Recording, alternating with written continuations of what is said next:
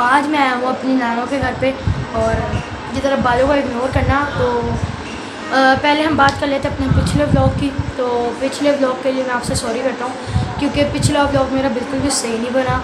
उसमें जो मैंने कहा था उसका उलट हुआ था जब मैंने कहा था कि पप्पा के घर जाएँगे।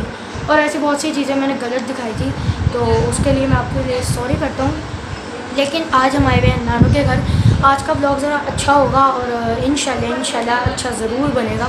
तो अभी हम बनाने लगे हैं पास्ता और पास्ता मैं थोड़ा बहुत आपको दिखाऊँगा भी और अब इसके बाद मुझे कहेंगे कि पिछला खाना तो दिखाया नहीं अब ये दिखा रहे हैं। मतलब पिछली जो ईद पे डिशेस थी तो उसके लिए मैं सॉरी करता हूँ। लेकिन अभी मैं आपको पास्ता दिखाऊँगा और हम चलते हैं ब्लॉग की तरफ़। मेरे साथ मैंने ट्राईपोर्ट लिया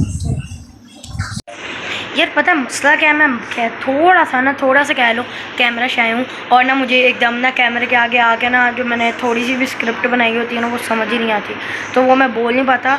मेरी ना थोड़ी सी जो मैं बोलता हूँ ना, उसको इग्नोर किया करो, क्योंकि ना मैं जो स्क्रिप्ट थोड़ी बहुत दिमाग में रखता हूँ ना, वो भी मैं भूल जाता हूँ, जब मैं कैमरा के सामने आता हूँ। तो अभी हम, देखो ना, मैं अभी पकड़ा है फ़ोन तो मेरा हाथ शेक हो रहा है। लेकिन जब मैं ट्राईपोर्ड पर लगाता हूँ तो बिल्कुल भी नहीं होता। खैर, अभी ना मुझे बहुत भूख लगी थी और नानो, अभी टीवी देख रही है, उसके बाद हम पास्ता बनाएँगे और मैं आपको भी दिखाऊँगा। तो चलो, चलते हैं किचन में और फिर बनाते हैं पास्ता और आपको भी दिखाएँगे। चलो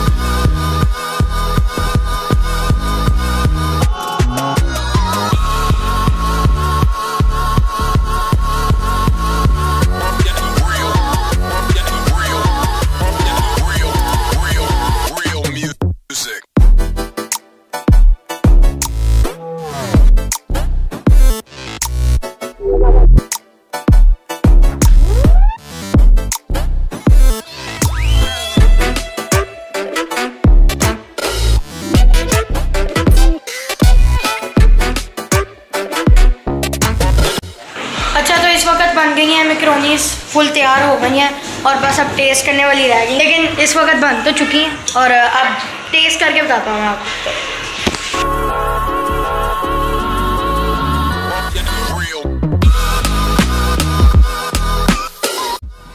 तो अभी हम पहला रिव्यू देने लगे हैं इसको।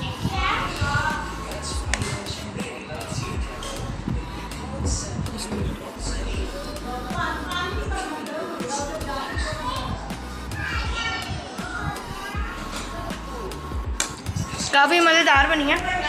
नानो, बड़ी मज़े बड़ी मज़े की बनी है।